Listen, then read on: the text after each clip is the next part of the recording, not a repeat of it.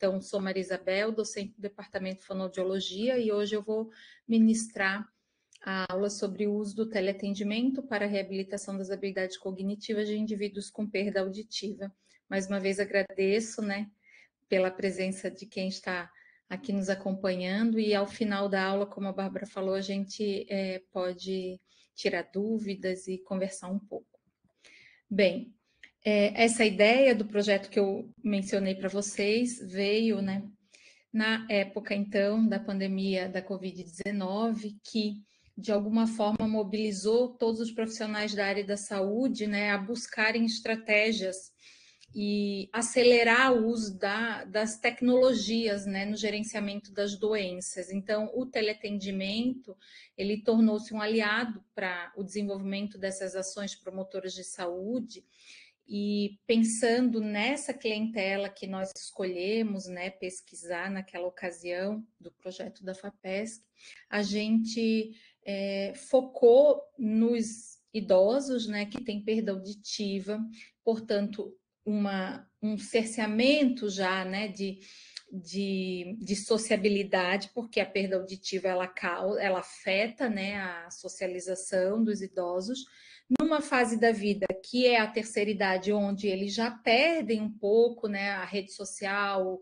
os contatos e tal, sociais, e piorando com o cenário né, é, sanitário do mundo que trouxe a pandemia da Covid-19. Então, esse é o panorama né, que nos fez pensar nessa metodologia de atuação com os usuários de perda auditiva. A perda auditiva hoje ela tem sido muito estudada, há toda uma preocupação global dos impactos da perda auditiva na clientela dos idosos, nessa população, porque ela afeta milhões de pessoas no mundo e a sua prevalência vem crescendo até porque é, a população de idosos vem aumentando no mundo, né? Então, pensando que ali já, às vezes, ainda na fase adulta, quinta década de vida para sexta década, os limiares auditivos, naturalmente, de todos os seres humanos em geral, né, na grande maioria deles, há uma, há uma diminuição gradativa né, dos limiares auditivos, isso vai impactar. Se há uma diminuição da audição, vai afetar a compreensão da fala, especialmente em ambiente em ruído, em momentos de conversa de várias pessoas, né? E isso vai causar o quê? Um prejuízo de comunicação e afeta a qualidade de vida, a autoestima do idoso. E aí, correlacionando com o tema da aula de hoje que eu trago, vários estudos têm mostrado que o cerceamento, né, a diminuição da audição, ela diminui estimulação cerebral, diminui conexões cerebrais e, portanto, pode levar ao declínio cognitivo ou até a demência, né, que seria um transtorno cognitivo maior. Dessa forma, eu agora vou introduzir para vocês alguns conceitos de cognição e funções cognitivas para poder explicar depois para vocês, e daí até a aula que a Jéssica vai dar na sequência da minha, por que nós moldamos né, e delineamos um programa terapêutico com vistas à estimulação das funções cognitivas, tá? Então, como uma terminologia geral, né, o que é cognição? É, de uma forma geral, se eu for usar algo assim direto, uma palavra só, eu poderia dizer assim que tem relação com o aprendizado humano. Para que aprender, para que possamos aprender qualquer coisa, é preciso que as nossas funções cognitivas é, sejam estimuladas, né? Então, cognição são as capacidades e os processos relacionados ao aprendizado, ao conhecimento de mundo e à compreensão das coisas à nossa volta. Então, essa capacidade cognitiva global que faz com que o ser humano aprenda as coisas, ela necessita que habilidades e domínios cognitivos trabalhem de forma é, é, como posso falar, correlacionada e que é, se hum, sobreponham e, e, se ajudem entre si. Por que estou tentando explicar isso para vocês? Porque é, não basta só ter memória, eu preciso ter a memória preservada, mas para poder registrar na minha memória, eu preciso prestar atenção. eu só vou conseguir expressar o que eu estou pensando se eu tiver prestado atenção no que o outro está falando comigo, se eu tiver um registro de memória, se eu organizar mentalmente o que eu quero dizer, ativar minhas funções executivas, executar o ato articulatório, por exemplo, para falar, então ter uma praxia articulatória, né? Perceber o meu mundo, o mundo à minha volta, né? Ter essa habilidade visoespacial e auditiva e tátil, sinestésica. Então, veja, aprender algo, né? absorver um conhecimento, compreender as coisas à minha volta, exige essa coordenação das funções cognitivas que eu trago aqui para vocês. Na verdade, a depender de, do autor que a gente lê, às vezes a nomenclatura dessas funções cognitivas elas são um pouquinho diferentes, Tá? Isso também, essa terminologia que antigamente se falava, por exemplo, não se falava funções cognitivas, a gente falava é, funções mentais superiores, né? É, a gente, ao longo do avanço da ciência, foi modificando um pouco essa terminologia, mas em geral a gente consegue reconhecer esses termos que são sinônimos, tá certo? Então vamos à primeira delas, que é a memória. A memória é uma função multifacetada que envolve diversos mecanismos neurais. Ela é fundamental para que a gente opere sobre o mundo, haja, tome decisões, né? Porque é a partir da memória que a, a gente consegue utilizar de experiências anteriores já vividas ou que alguém já viveu e nos contou para tomar decisões na vida. Né? Então, a memória é um conjunto de habilidades que envolve três processos: aquisição, então eu adquiro, né, obtenho uma informação, eu armazeno essa informação e, se for preciso, eu recupero de diversas maneiras, tá? Eu não vou entrar aqui, essa aula não é uma aula detalhada sobre subtipos de funções cognitivas e seus mecanismos, mas eu estou dando um, um, conceito e algumas informações importantes para vocês entenderem, né, por que, que a gente está usando como base do teleatendimento para estimulação dos pacientes com perda auditiva essas funções cognitivas. Antigamente a gente achava que a memória era um construto único, que existia uma memória. Hoje a gente sabe que há diversas, hoje já faz algumas décadas, né? Há, há diversas memórias, elas não estão todas localizadas na mesma região do cérebro. Portanto, quando falamos em memória e pensando em teleatendimento e estimulação de clientela de reabilitação, pre precisamos é, saber e, e prever qual das memórias eu quero estimular, qual memória eu quero resgatar dos nossos pacientes, tá certo? Aqui nessa ilustração eu trago as, os subtipos de memória e a localização no cérebro que hoje a ciência já consegue nos proporcionar né, esse conhecimento, então, memória declarativa, memória de trabalho, memória de procedimento, memória semântica, a memória implícita, memória emocional, enfim. Também dependendo do autor, às vezes a nomenclatura muda um pouquinho, mas entender que quando a gente trabalha, ah, eu vou estimular a memória do paciente, qual memória? Né, que você quer. E você quer trabalhar com a aquisição de uma informação, ou com, se a, o paciente consegue armazenar uma informação, ou você quer trabalhar com a evocação, ou seja, com recuperar alguma coisa que ele já registrou. Né? Essa informação em, com relação ao tempo de registro, ela é uma informação de curto prazo ou longo prazo? Ela é uma informação é, verbal, episódica de algo que a pessoa viveu, ou ela é uma informação de procedimento, de algo que ela sabe fazer e sabe executar? E, enfim, isso são alguns exemplos. É, é importante a gente subdividir, porque hoje, de fato, tanto na localização cerebral e na particularidade, as memórias são diferentes, tá certo? As funções executivas, né, é uma função cognitiva que é no plural, né, porque ela é um conjunto de habilidades, mas que de forma integrada nos permite direcionar um comportamento meu, ou seja, uma ação minha, alguma meta, alguma, alguma coisa que eu quero fazer as funções executivas nos permitem avaliar a eficiência e adequar, se preciso, o meu comportamento para aquele objetivo que eu tenho. As funções executivas, elas nos permitem também, de repente, ter que abandonar alguma estratégia que eu achei que eu estava fazendo bem ou achei que daria certo e, não deu. E aí, opa, para eu realizar isso não está dando certo dessa forma. Deixa eu planejar aqui mentalmente outra forma de fazer aquilo. Então, abandonar a estratégia inicial que eu estou julgando naquele momento que está ineficaz. Ela nos serve para resolver problemas imediatos ou de médio e longo prazo. São requisitadas sempre que eu formulo um plano de ação mental. Então, eu quero é, escrever um e-mail, eu quero cantar uma música. Estou voltando mais para a fonoaudiologia, tá certo?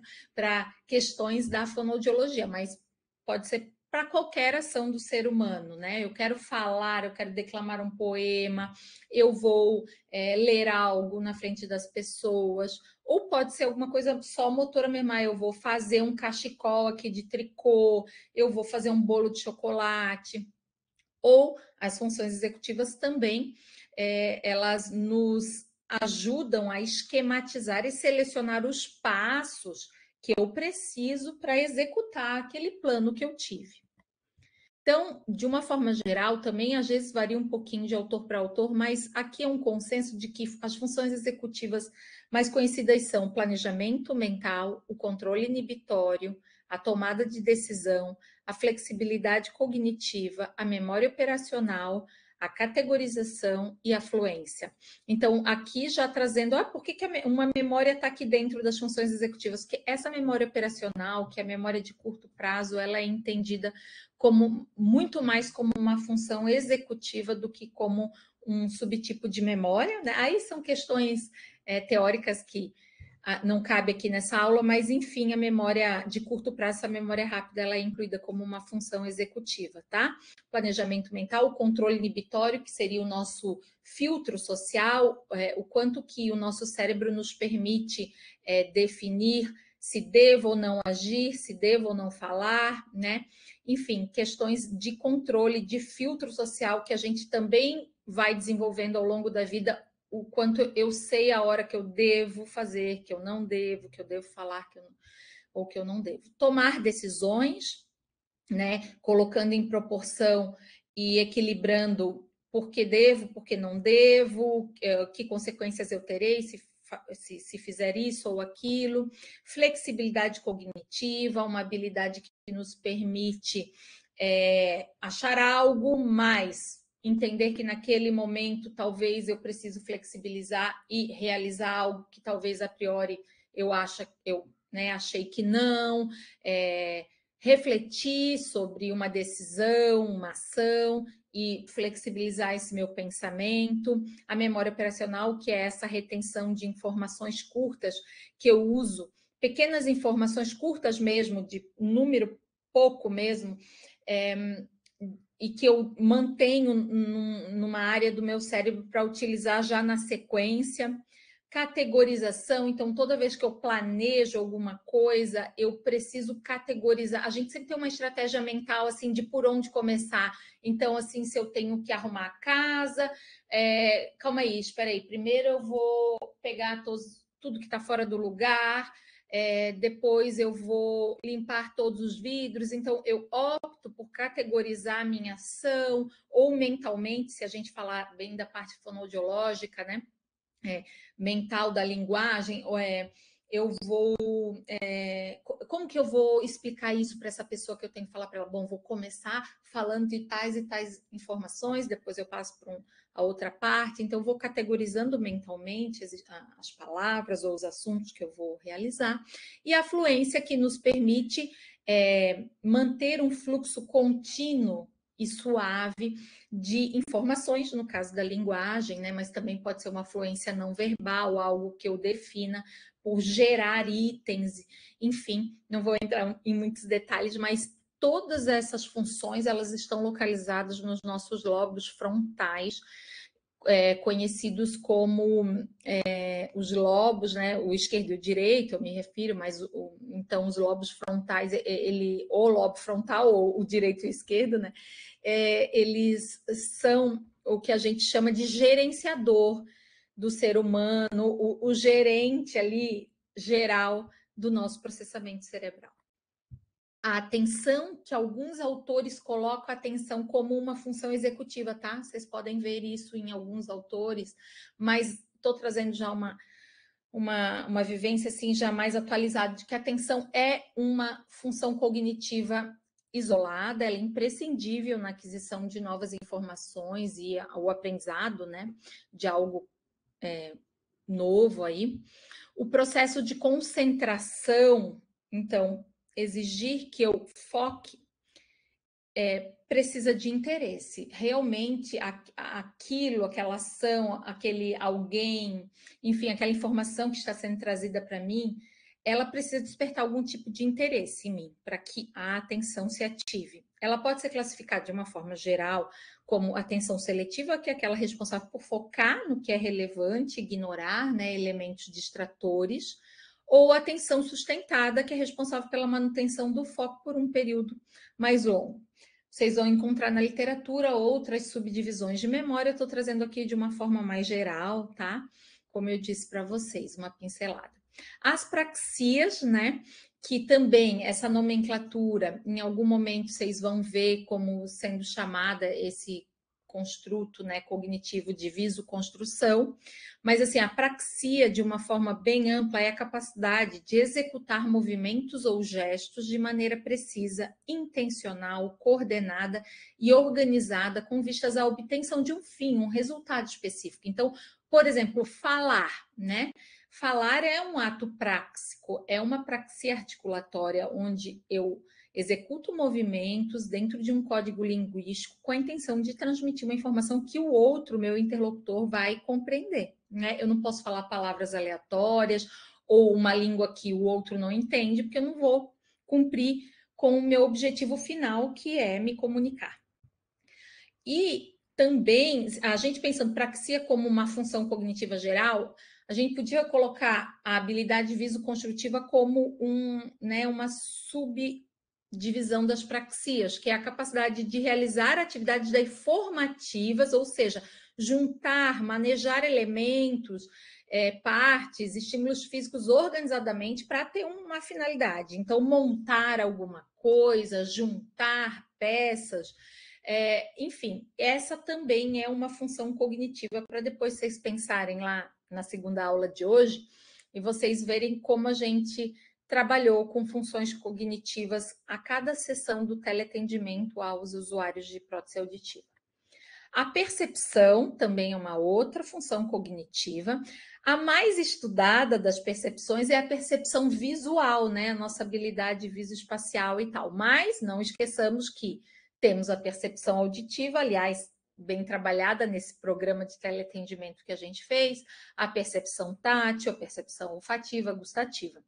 Ela também é chamada essa visual de habilidade visoespacial, é responsável, por exemplo, que é essa mais estudada, pela nossa capacidade mental de conhecer e reconhecer caminhos, traçar rotas, ter noção de dimensão e profundidade. É, é uma função cognitiva muito importante para a gente compreender o mundo à nossa volta, né? E isso faz com que as coisas externas é, sejam introjetadas e processadas pelo nosso cérebro de uma maneira muitas vezes particular de cada um de nós, né? A percepção visual que cada um tem a partir do seu conhecimento, enfim. E a linguagem, que eu deixei por fim, e não é a menos importante, ao contrário, a linguagem é a função cognitiva mais importante do ser humano. É pela linguagem que nós nos tornamos seres dos mais evoluídos, né, do reino animal. É, os estudos mostram que é, a evolução do ser humano passa diretamente pela pela nossa capacidade comunicativa que evoluiu enormemente e que é a mais aprimorada né, dos seres dos, do reino animal, portanto, inclusive fisiologicamente, anatomicamente falando, o hemisfério cerebral esquerdo, que é onde, na maioria das funções linguísticas, é, é onde a maioria das funções linguísticas é processada, ele é diferenciado né, nos seres humanos. Existe até, dizem que o lobo temporal, que é o, o lobo temporal esquerdo, que é o local mais específico de processamento da linguagem, especialmente a compreensão da linguagem, ele é inclusive maior e mais pesado. Não é uma diferença tão gritante, mas sim estudos de ressonância magnética, de volumetria, demonstram quantitativamente que o nosso lobo temporal esquerdo ele é maior e tem mais conexões cerebrais, tá? Então, ele é o responsável, a, a linguagem né, é a função cognitiva responsável pela comunicação, é fundamental para a aquisição das informações, compartilhamento das nossas histórias, crenças, valores e cultura. A linguagem é, em sua grande parcela, localizada no hemisfério esquerdo para quase todas as funções linguísticas. Hoje a gente sabe que o hemisfério direito também processa a linguagem, tá certo? Não é menos importante, mas de novo, quantitativamente, de fato, é o hemisfério esquerdo o principal para o processamento da linguagem. De uma forma bem resumida, né? Como eu digo para vocês aqui nessa aula, não dá tempo de a gente se aprofundar, mas a área de Broca, na região frontal esquerda, é a responsável pela nossa expressão da linguagem falada, né? E a área de Wernicke, localizada no giro temporal esquerdo posterior, é a área é, conhecida como aquela que processa a compreensão da linguagem, o que eu compreendo, né, das coisas que eu ouço e que me chegam, né, através do meio externo. Por que, que eu estou falando disso? Porque eu estou trazendo esses detalhes de funções cognitivas dentro né, de um programa de teleatendimento para usuários de perda auditiva. Porque inúmeros estudos têm sido publicados já há algum bom tempo, tá? Sobre a relação da diminuição da acuidade auditiva, da perda auditiva, como sendo um fator de risco para o desenvolvimento de demência. Porque o que é demência, né? Isso eu não falei ainda. A demência é um transtorno cognitivo maior que acontece quando uma ou mais das funções cognitivas que eu conceituei anteriormente passam a ter um declínio diferente de como o indivíduo era antes e que esse declínio de uma ou mais funções cognitivas passa a interferir na independência do sujeito. Ele não consegue mais realizar as atividades de vida diária como fazia antes sozinho. A família, os cuidadores passam, não tem mais como deixá-lo cozinhar, ele não consegue mais se comunicar direito, ele não consegue mais andar de ônibus sozinho. Então, acredita-se e até um estudo que eu vou falar depois é, tem mostrado que a perda auditiva ela tem sido um fator de risco importante para o desencadeamento do processo demencial. Não só ela exclusivamente, não é a perda auditiva culpada pelo o desenvolvimento de uma demência, tá certo? Mas ela é hoje considerada como um fator de risco importante, somada à carga genética do indivíduo, a outros fatores de risco que a gente vai apresentar daqui a pouco. Então, aqui alguns estudos correlacionando questões cognitivas e perda auditiva como potencial, potencializadores de um declínio cognitivo e futuramente, né, ou já diretamente uma demência.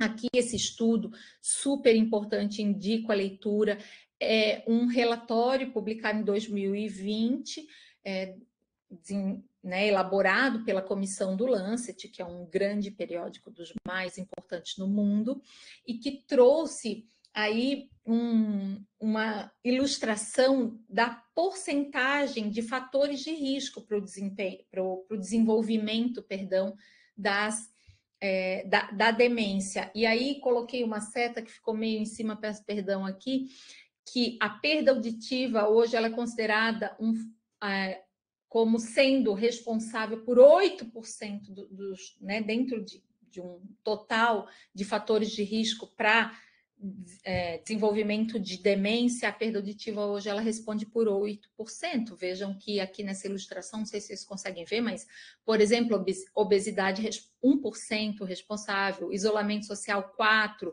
é, o, o tabagismo por 5%, diabetes 1%. Veja, a perda auditiva ela é responsável por 8%. Então, de fato, precisamos nos preocupar com os idosos que têm perda auditiva. É preciso que os programas de reabilitação auditiva eles funcionem, né?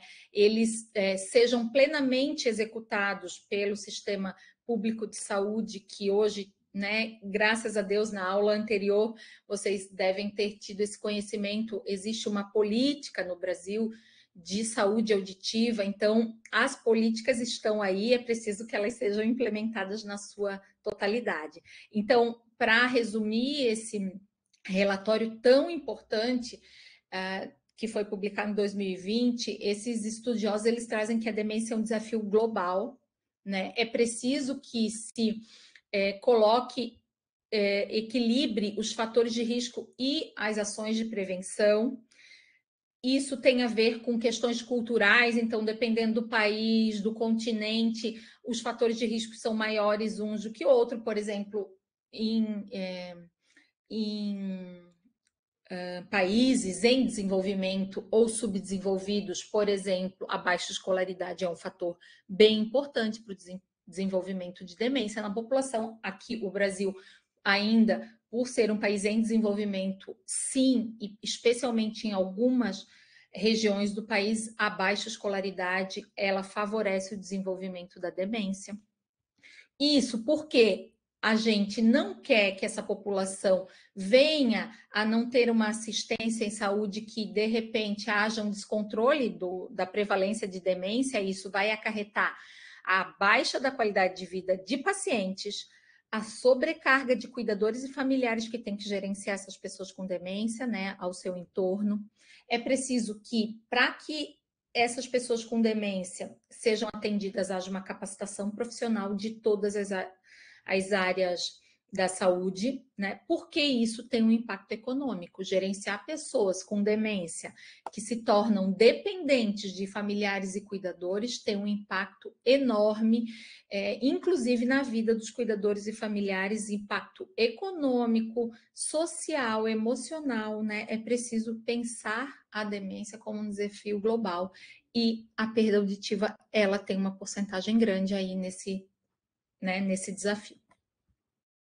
A gente sabe que as intervenções não farmacológicas, que é essa que a gente está trazendo aqui hoje, né? aliás, nesse, nessa, nesse grupo de três web seminários, que é a intervenção fonoaudiológica, ajuda a função cognitiva dos idosos. Então, os estudos têm mostrado que sim, essas intervenções que não utilizam de medicamento, mas sim de abordagens não farmacológicas ou também faladas de comportamentais, elas são uma alternativa para o tratamento.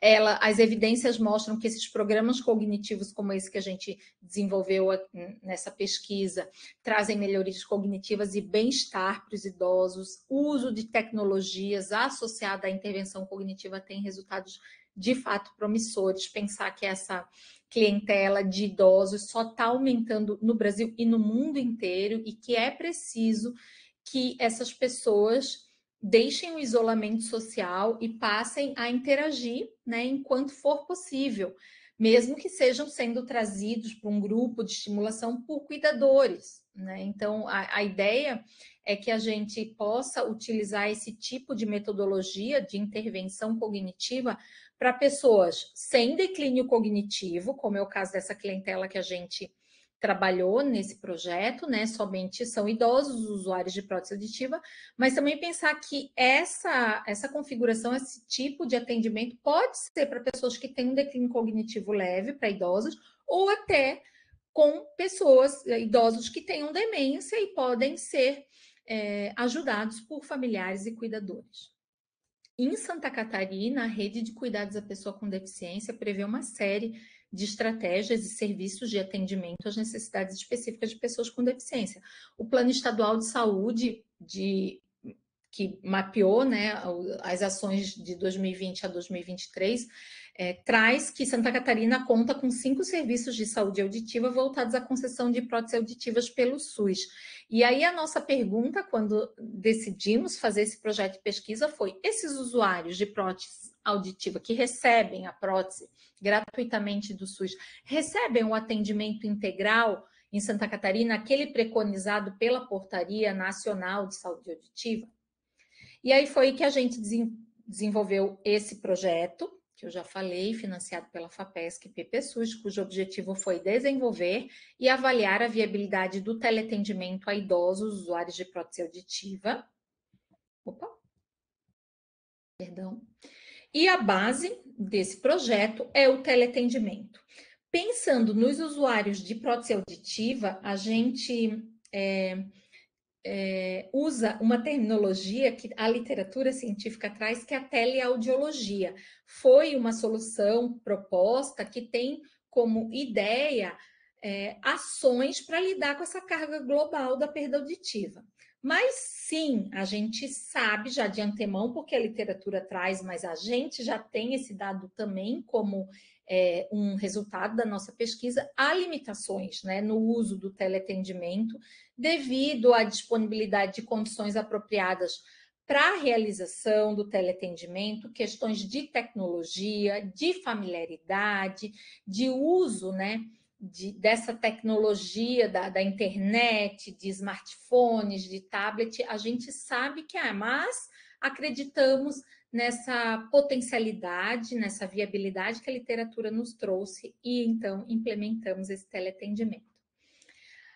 A questão do uso com idosos e, aliás, com a população adulta, já foi é, comprovada em diversas outras, inclusive outras populações, que não os usuários de prótese auditiva. Então, pessoas é, com afasia, é, é dificuldades de aprendizagem, com demência também. Então, isso a literatura já nos trouxe. A gente queria, então, testar se os idosos, usuários de prótese auditiva de Santa Catarina, que recebem né, a prótese dos serviços ali cadastrados pelo SUS, eles conseguiriam participar de um programa de teleatendimento para estimulação das habilidades que a gente chamou cognitivo-auditivas, tá?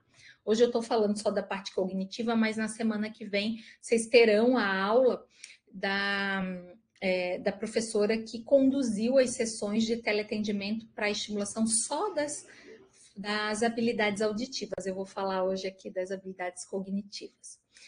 O que, que acontece, né? Quais são a, a digamos assim, os percalços aí da nossa realidade. No Brasil, o processo de reabilitação encontra muitas dificuldades relacionadas ao diagnóstico tardio. Apesar, como eu disse para vocês, existir uma portaria já mostrando todo o caminho que o usuário do SUS deve fazer, que né, todos os estados no Brasil sabem o caminho ainda demora para o diagnóstico, né? Primeiro, o diagnóstico demora porque existe um entendimento, digamos assim, um senso comum de que ah, o idoso está perdendo audição, ah, coitado, é o envelhecimento, né?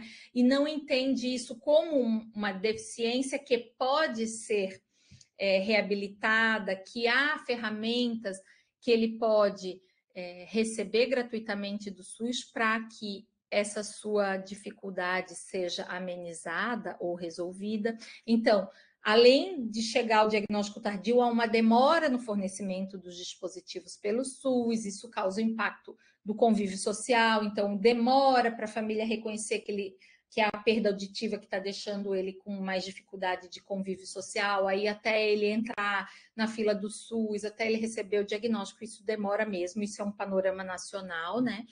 Em Santa Catarina, as diretrizes dizem que, no mínimo, esse idoso que recebe prótese auditiva, ele deveria receber, no mínimo, seis atendimentos individuais ou em grupo de reabilitação fonoaudiológica após a concessão da prótese.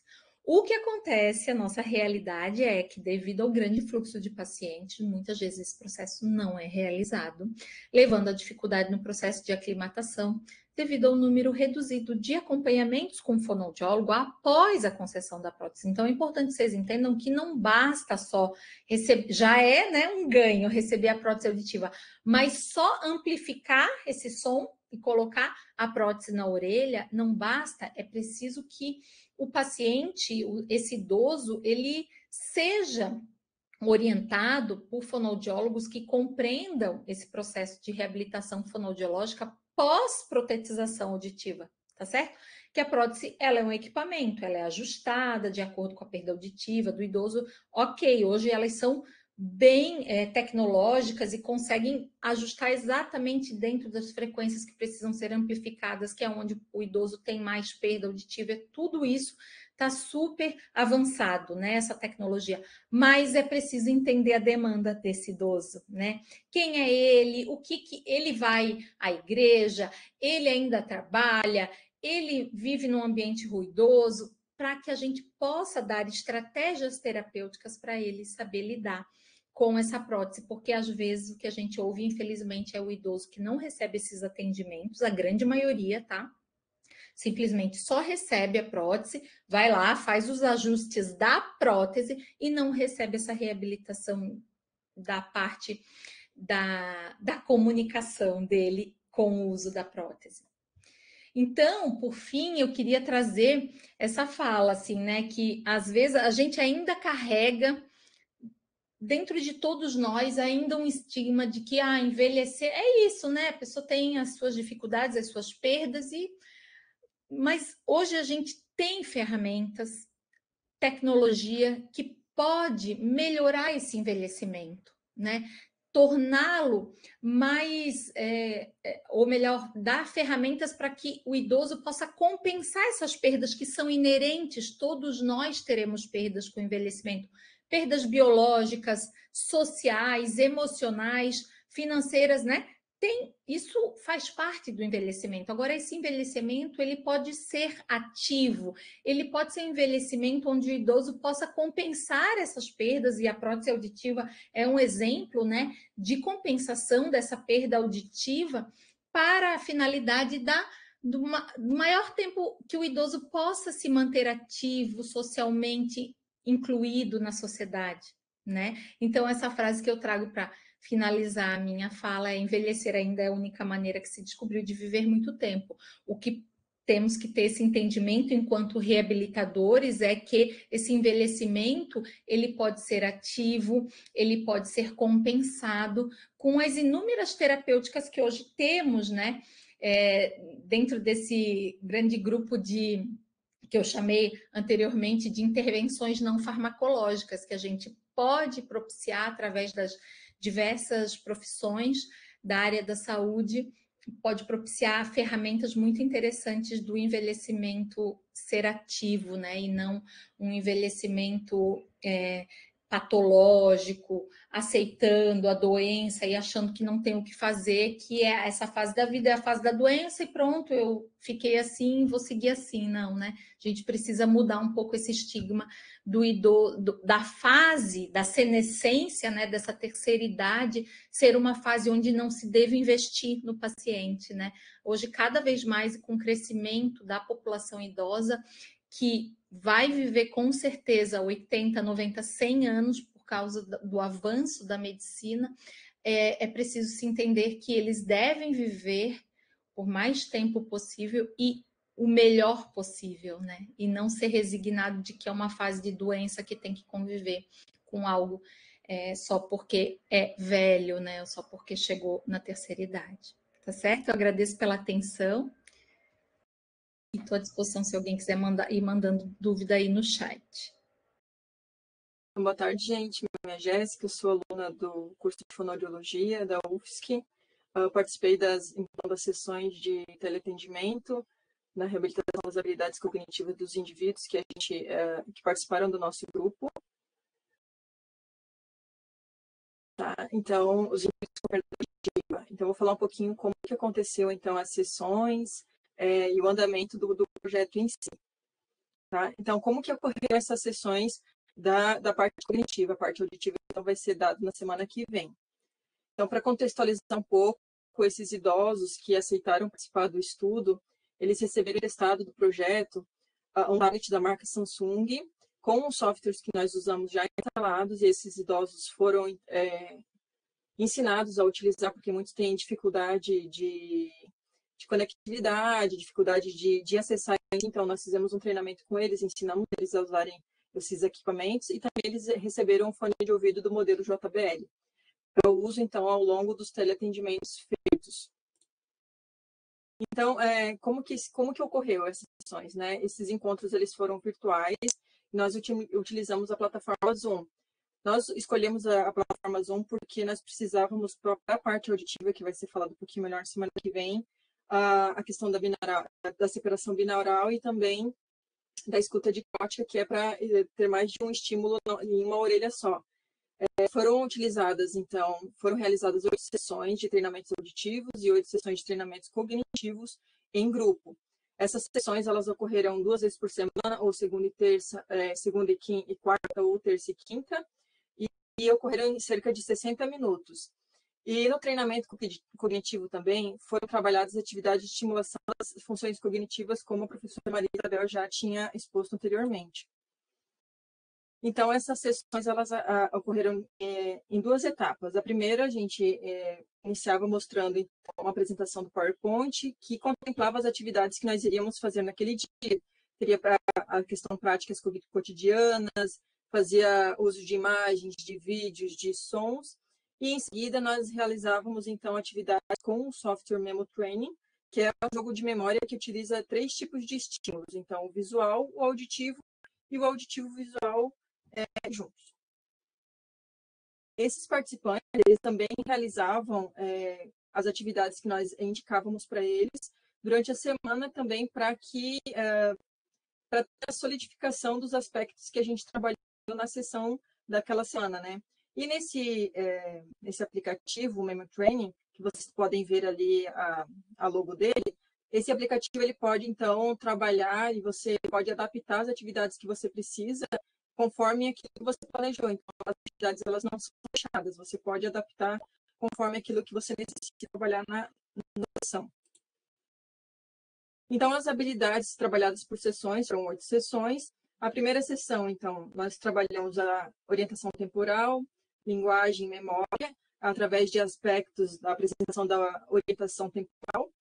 A segunda sessão, então, foi habilidade visoespacial, linguagem e memória também, através de, do tema de pontos turísticos. Na terceira sessão foram as funções executivas, linguagem e memória, através do tema de alimentação, com o tema de músicas. A gente trabalhou a quarta sessão, a atenção, a linguagem e a memória. Na quinta sessão, com o tema de celebrações, a gente trabalhou a velocidade de processamento, a linguagem também memória. Na sexta sessão, foram, é, através do, dos temas televisão, velocidade do processamento, linguagem e memória. Na sétima sessão foram é, propostos diálogos, e aí nós trabalhamos linguagem e memória. E na oitava sessão e última é, foram as situações cotidianas que foram abordadas aí as habilidades de inteligência cristalizadas, linguagem e memória também.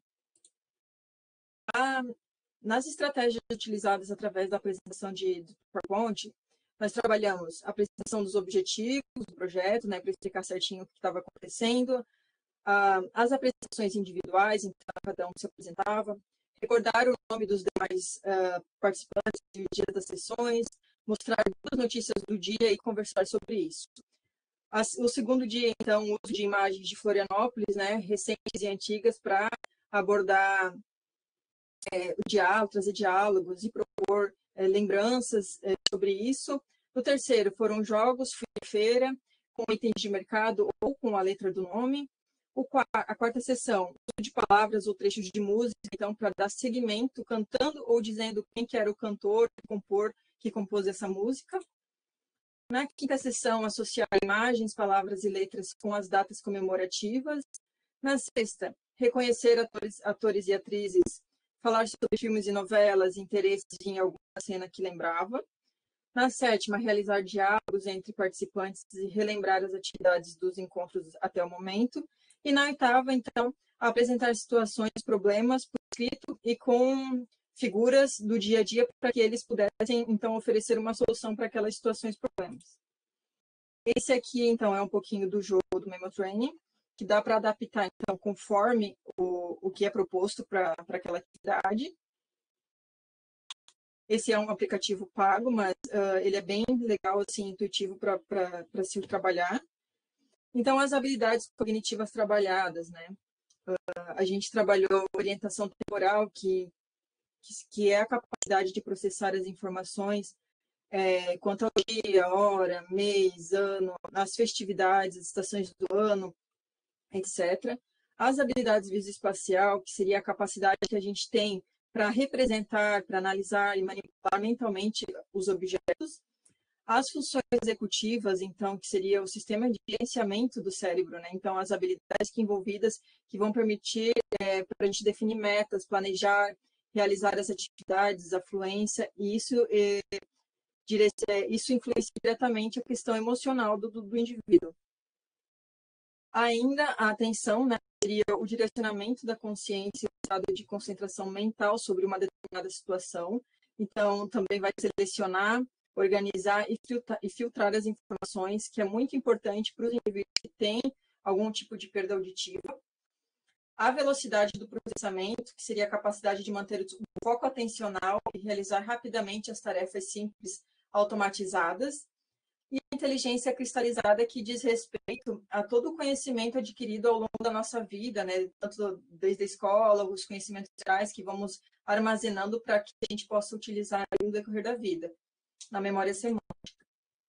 Então, é, o objetivo do projeto, então, foi, do, das sessões, foi propor mo, é, momentos de diálogo participantes, estimular a comunicação funcional deles, é, promover a estimulação cognitiva através das atividades que a gente trouxe, e também que viabilizavam aí a, a reorganização neural das áreas cerebrais que, é, que são relacionadas às habilidades cognitivas, né?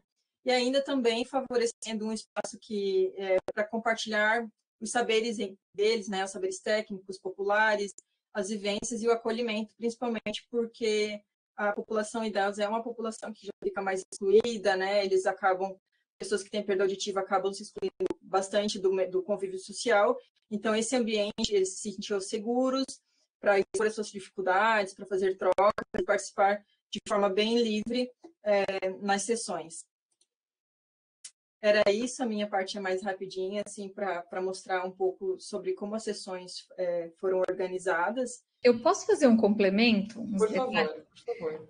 Porque, assim, a ideia, né, de quem está vendo é, essa apresentação de hoje é a seguinte: mostrar para vocês que essa metodologia que a gente desenvolveu, né, de oito sessões de, de teleatendimento para estimulação cognitiva, e semana que vem vocês vão conhecer as oito sessões de estimulação das habilidades auditivas. Então, são 16 sessões que a gente fez duas vezes na semana. Então, durante dois meses, esses idosos estiveram conosco, né, semanalmente, fazendo duas sessões por semana. Então, a ideia é que os fonoaudiólogos que estão nos ouvindo, né, em qualquer lugar, e que tenham interesse de fazer algum tipo de estimulação é, possam fazer. Claro, a nossa ideia foi por teleatendimento, mas essa metodologia ela é completamente viável também numa modalidade presencial, tá certo?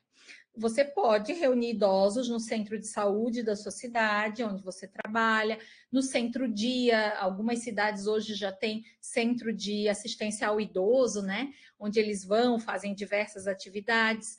Você em instituições de longa permanência, se você é fonoaudiólogo, né, de, desses locais onde os idosos moram lá, e aí o fonoaudiólogo, é, e quando tu falas, Bárbara, que a fonoaudiologia ainda estava né, pouco representada aqui no telesaúde, o fonoaudiólogo ele é o profissional que cuida dos distúrbios da comunicação. Distúrbio da comunicação, ele não vem só por causa de uma perda auditiva. O tema do nosso web seminário aí é a perda auditiva, mas enfim, o fonoaudiólogo ele pode se utilizar dessa nossa metodologia para adaptar estimulação cognitiva para os idosos em geral, né?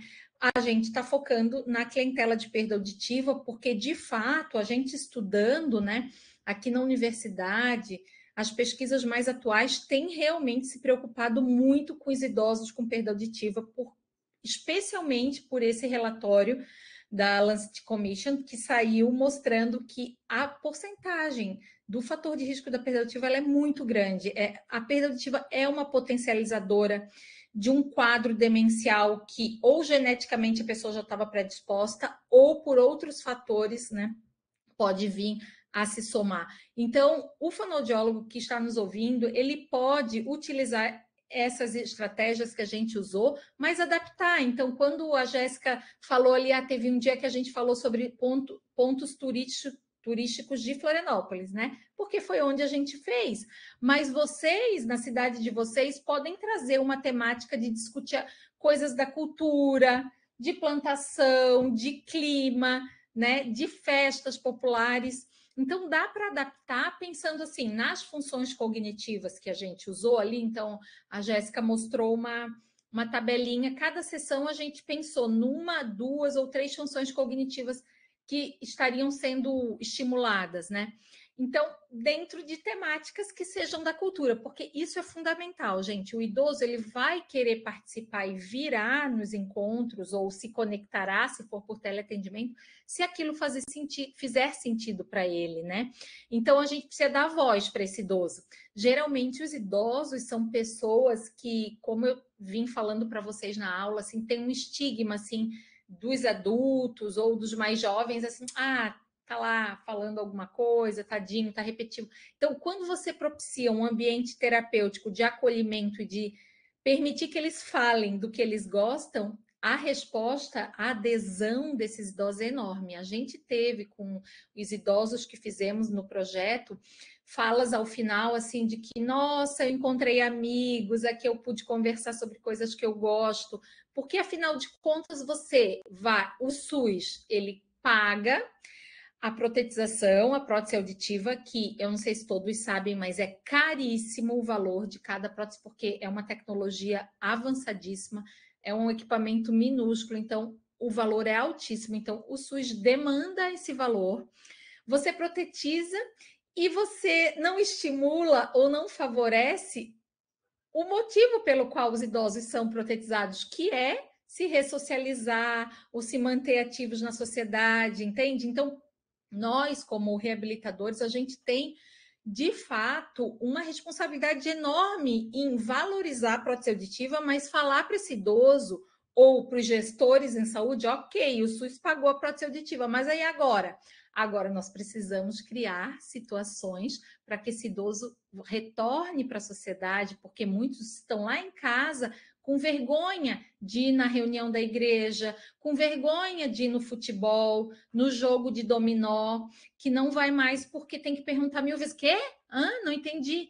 Então, é a partir desse tipo de metodologia, né, de estimulação cognitiva auditiva, que a gente está chamando, que a gente é, faz essa ressocialização. Aqui nesses grupos que a gente propiciou e está estimulando vocês a fazerem na cidade de vocês, fonoaudiólogos, é o seguinte: é um primeiro momento de ressocialização. Eles vêm aqui como um ambiente seguro onde todos os idosos desse grupo usam prótese auditiva, todos os idosos desse grupo às vezes reclamam que está dando uma microfonia, que parece que não está tão bom, e aí aqui a gente também semanalmente vai, às vezes eles reclamam, falam, olha, volta lá na clínica do SUS que deu essa prótese, reclama que está com microfonia, reclama que parece que tem algum som que não está conseguindo ouvir, eles fazem o ajuste e tal, e aí aqui se torna esse ambiente seguro terapêutico de a gente colocar sons para eles ouvirem, música, fazê-los falar sobre determinado assunto, escutar o outro colega, né, o outro idoso que também tem a dificuldade então é um ambiente onde eles se sentem pertencentes, assim, poxa, tem outros idosos que têm essa mesma dificuldade, que estão com vergonha de voltar lá na igreja, no grupo do dominó, na, né, na, no baile da terceira idade e tal, e que nós estamos aqui como reabilitadores e fonoaudiólogos, estimulando eles a voltarem para o convívio dos seus grupos sociais, né? Então, é um papel fundamental. A portaria de saúde auditiva do SUS, ela preconiza essas intervenções após a protetização auditiva, mas na realidade do Brasil, tá? Não estou nem falando de Santa Catarina. Essas sessões acabam não sendo feitas ou feitas de uma forma muito reduzida. E aí, uma outra inovação, vou chamar assim, que a gente propôs é já fazer a reabilitação em grupo. Porque, como eu falei no começo da minha aula, a maior dificuldade do idoso quando coloca, quando, quando vai perdendo a audição, é compreender a fala no ruído, com várias falas ao mesmo tempo. Então a gente já pensou, vamos já fazer a reabilitação num cenário onde todos falam, para que eles já sejam incluídos aqui no ambiente seguro, onde o fonoaudiólogo sabe que essa dificuldade vai aparecer, mas estimulando eles a falar, olha, não entendi, repete, presta atenção no que naquela pessoa que está falando e até a gente estimulava eles assim a falar mesmo para o colega que acabou de falar com eles e dizer: olha, desculpa, mas tu pode repetir porque eu não compreendi uma parte. Ou seja, entender que é preciso enfrentar essa dificuldade, que ele agora tem um, um amplificador, uma tecnologia né, específica para amplificar a sua dificuldade, a, audição, né, e melhorar a sua dificuldade, e que é preciso enfrentar aí para a ressocialização e falar para esse colega que lá do futebol, do jogo de dominó, do grupo de oração da igreja, oi pessoal, então eu agora estou usando o aparelho auditivo, então né, eu vou me sentar aqui mais perto da pessoa que está falando, às vezes eu vou pedir para vocês repetirem. A gente precisa empoderar esse idoso de que o envelhecimento traz perdas, a perda dele no momento é a perda auditiva e que é totalmente possível de ele se manter nos seus grupos sociais, ativo na sociedade, colaborando, né, com as coisas que ele gosta, mas de uma forma adaptada, né? Isso não é fácil. O idoso às vezes ele acaba se isolando por não para não ter que dizer da sua dificuldade. E como eu falei, as pessoas vão viver muito, então é preciso enfrentar né, essas dificuldades. E esse modelo que a gente fez de 16 sessões, a gente estudou antes de fazer o nosso modelo, a gente estudou bastante a literatura, fizemos uma revisão grande da literatura, dos artigos publicados, e a gente entendeu que 16 sessões é bem bom, porque assim, tinha estudos que fez, fizeram poucas sessões. A gente acha que daí adesão, engajamento quando a coisa está ficando boa, acaba. Então, é um pouco longo, a gente até sugiro que vocês que são fonoaudiólogos e queiram fazer algum modelo assim semelhante, vocês já antes, no momento do convite, vocês falem assim, ó, olha, seu tal, você está sendo convidado a participar de um grupo de estimulação auditiva e cognitiva para melhorar né, as conexões do seu cérebro, agora que o senhor está usando a prótese auditiva, para melhorar a sua comunicação e tal.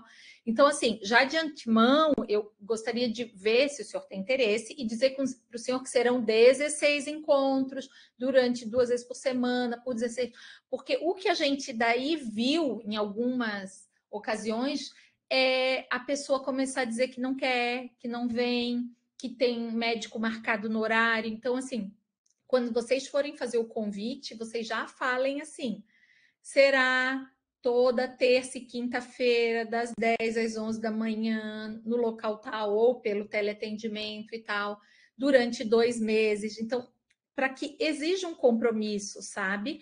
Porque as sessões elas são planejadas para estimular as várias habilidades auditivas, várias funções cognitivas. Então, se ele fica faltando duas, três, quatro sessões, ele perde algum tipo de estimulação. Então, é preciso essa adesão para que o resultado, de fato, o máximo né, de desempenho aconteça. E assim, quando eles começam a faltar também, eles acabam ficando um pouco mais para trás, né? E aí eles começam a perceber a dificuldade deles em relação ao próprio grupo que tinha dificuldade. E aí eles uhum. começam a ficar desmotivados, então é bem importante, assim, é, no decorrer das sessões a gente ficava fazendo, é, nós enquanto alunos, né, ficavam fazendo contato via WhatsApp, a gente ligava, olha, daqui a pouquinho vai ter sessão, está com dificuldade de entrar, porque às vezes ele não tinha algum filho, algum parente próximo para auxiliar a entrar no equipamento, né, no tablet, às vezes não conseguia conectar o fone, e aí a gente ficava fazendo, então, chamadas de vídeo com eles para auxiliar, mostrando pelo vídeo como é que fazia. Às vezes eles esqueciam como é que entrava de uma semana para outra. Então, esse contato foi bem assim, certinho, todo, todo dia que tinha sessão. Na verdade, um dia antes a gente já mandava mensagem: Ó, oh, amanhã tem sessão, confirmamos sua presença. No dia a gente ligava ou mandava mensagem. Né? Se não respondia, a gente acabava ligando por vídeo. Então, é bem importante esse contato mais é, próximo com eles, principalmente nos primeiros dias, para até que eles, assim, engrenem né, na, no, no, ritmo da sessão, no ritmo do projeto, no ritmo do que foi proposto. E aí, depois, eles mesmos mandavam mensagem, ó, oh, hoje tá, amanhã vai ter, né? Então, uhum. ó, ó, já estou aqui esperando para abrir a sala. Eles mandavam mensagem quando a gente às vezes atrasava um minutinho ou outro, e tinha gente que até tentava entrar meia hora antes, e a gente tinha que explicar, oh, não, vamos esperar dar o horário. Então, depois eles se uhum. empolgavam, mas no início tem que ficar assim, tendo um pouquinho mais de assim, de ser é, insistente, né, para eles não desistirem por conta da dificuldade, porque eles se assustam um pouquinho a questão do teleatendimento. Né? Ah, é. Ah, não, eu não vou conseguir mexer no tablet, no, no celular. Sim. Esse é um resultado interessantíssimo de pesquisa, porque ah, né, a pandemia a, avançou a tecnologia, mas o idoso, em geral, ele está acostumado com o WhatsApp, né? Com ver vídeo no YouTube, a hora que tu bota uma outra ferramenta, ele já fica com medo, né? Porque ele não nasceu na geração de que já nasceu mexendo na tecnologia. Então, eles têm muito medo, muito medo se não dá certo e tal. Então, isso também é uma sugestão que eu dou para os fonoaudiólogos. Assim, se vocês acham que a clientela de vocês tem dificuldade, mora muito sozinho, não vai ter um filho, um neto, alguém por perto que possa conectar, propor talvez o grupo presencial num local, né, que público onde vocês possam fazer esse tipo de grupo. Agora, também dá para pensar em pessoas que moram em áreas remotas, o idoso já tem dificuldade de locomoção, mora em comunidades que tem que subir muito escada, né? Ou tem uma questão mesmo é, de ter que se deslocar de ônibus, tem medo, às vezes fica inseguro de andar sozinho. Então, eu acho que a tecnologia ela vem para ajudar a gente, mas que dependendo da sua cultura local, você pode transformar isso em presencial, que fica muito mais fácil. Às vezes, um centro de saúde ali é perto de um grande bairro que tem uma comunidade enorme. Então, sem, sem problemas de a gente usar tecnologia ou não. Outra coisa que eu queria dizer, que reforçar, que a gente usou um software pago, porque a gente recebeu um financiamento, senão a gente não teria, né, numa universidade federal. Mas você, fonoaudiólogo, pode adaptar essas atividades, essas estimulações cognitivas com gravação da sua voz e colocar no PowerPoint. Então, assim, não há necessidade de ter aquele software que a gente mostrou, tá certo? Você pode adaptar as atividades. Hoje tem grandes materiais é, disponíveis na internet é, de exercícios cognitivos, né? Aí você pode pegar exercícios cognitivos de várias funções cognitivas e adaptar da melhor forma com estímulos também auditivos. Não esqueça que esse programa é para usuários de prótese auditiva, então tem que ter estímulo auditivo, não pode ser só leitura ou escrita, tem que ter essa estimulação auditiva do paciente, tá bom? A gente consegue encontrar também na internet muita coisa para trabalhar a questão do processamento de forma gratuita. Até no YouTube tem muito, muita coisa assim. Claro que o, a, o fono vai, a fono vai ter que fazer um filtro do que, que ela quer trabalhar e tudo, mas a gente consegue muita coisa gratuita é, liberada na internet para, enfim, quem não tem o, o acesso para pagar um software, enfim. Isso, tem bastante possibilidade hoje em dia não deve ser um impeditivo. Acho que o grande, a grande contribuição desse nosso projeto foi montar né, é, essa estrutura das 16 sessões, está disponível. Se vocês quiserem, né, depois, não sei se fica lá no site do Telesaúde o contato nosso como palestrantes, mas pode entrar em contato pelo site da Universidade Federal de Santa Catarina, departamento de fonte tem os nossos e-mails, a gente pode disponibilizar a estrutura do programa, esses PowerPoints que a gente tem, né? Daí você adapta conforme a cultura da sua cidade, do interesse do seu grupo de idosos, tá certo?